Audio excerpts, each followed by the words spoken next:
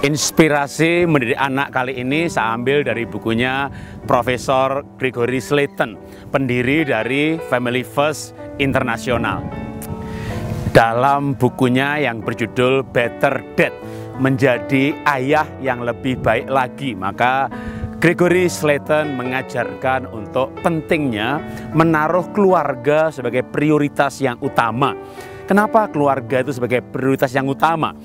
Slayton pernah menjadi CEO dari McKinsey Silicon Valley. Dia pernah jadi duta besar Amerika. Dia pernah mencapai puncaknya kejayaan sebagai seorang laki-laki. Dan dia berkata, kebahagiaannya tidaklah sebahagia ketika anak-anak hormat, tunduk, taat, anak-anak berhasil, anak-anak ketika berhasil mengabdi kepada orang tua. Wah, kebahagiaan dalam keluarga adalah kebahagiaan yang menyempurnakan ketika seorang laki-laki sukses, terkenal atau berhasil.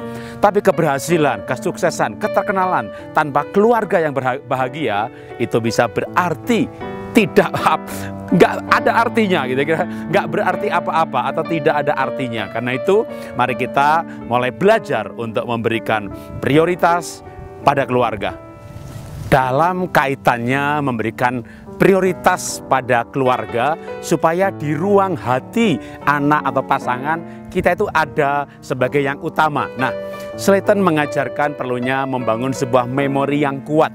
Memori yang kuat ini misalnya ya kalau saya juga menerapkan menjadi bagian penting dalam kehidupan anak untuk yang pertama. Misalnya pertama kali belajar renang, pertama kali bisa naik sepeda, belajar nyetir atau misalnya pergi ke luar negeri. Wah, anak uh, istri saya antar anak saya sampai ke Melbourne untuk cari kosnya. Itu akan menjadi memori kenapa? Wah, yang pertama kali saya keluar negeri diantar oleh orang tua saya.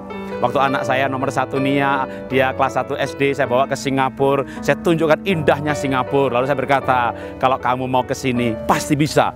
Kalau kamu kejar prestasi, dapat beasiswa. Wah, dia ingat pertama kali diajak keluar negeri oleh ayahnya. Saya ajak anak-anak saya ke pedalaman Mentawai, nggak ada wifi, naik naik uh, kapal hampir tenggelam gitu ya. Nyebrang sungai sampai seleher. Wah, itu pengalaman pertama diajak masuk pedalaman. Mungkin nanti dia akan masuk pedalaman lagi bersama timnya, bersama teman kuliahnya, tapi dia ingat yang pertama bersama ayahnya. Nah, itu namanya membangun memori sehingga pribadi kita ada dalam prioritas atau tempat utama di hati anak-anak kita menjadi ayah yang baik, yang mampu, cukup kreatif untuk membuat sebuah program yang menjadi program yang unik bagi anak-anak, sehingga anak-anak akan mengenang hal itu bahkan belasan puluhan tahun kemudian. Waduh Pak Jarot, anak saya sudah terlanjur besar, nggak kecil lagi. Oh, tidak ada kata terlambat. Anaknya sudah kuliah, anaknya sudah mahasiswa, Anda bisa create ya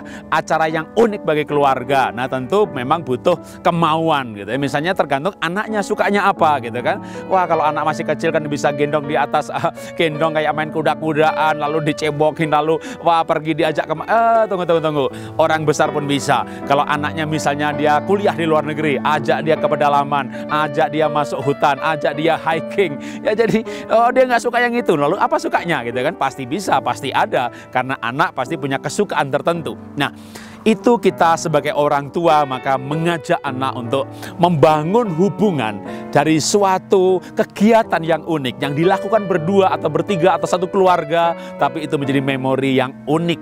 Dengan demikian maka terbangun relasi yang ada fondasinya ada memorinya. Anak ingat yang itu anak ingat yang lain. Jadi kegiatan unik menarik ini akan menjadi semacam trigger dalam emosinya dalam hatinya dalam otaknya untuk ingat ayahnya ingat ibunya. Wah sama-sama dulu pergi ke pedalaman, wah sama-sama dulu melayani di penjara, wah sama-sama kegiatan sosial, wah dengan orang tuanya sama-sama dagang, bikin perusahaan, mengalami masalah, bahas bareng-bareng. Jadi bisa banyak hal. Yang jelas Orang tua bisa menjadi semacam mentor, motivator, atau coaching, menjadi trainer bagi si anak, dan anak punya pengalaman unik. Dan dari situ kita punya hubungan yang baik dengan anak-anak kita. Inilah inspirasi yang saya sampaikan dari kawasan Kemuning, Karangpandan, nggak jauh dari Solo. Salam bahagia, luar biasa.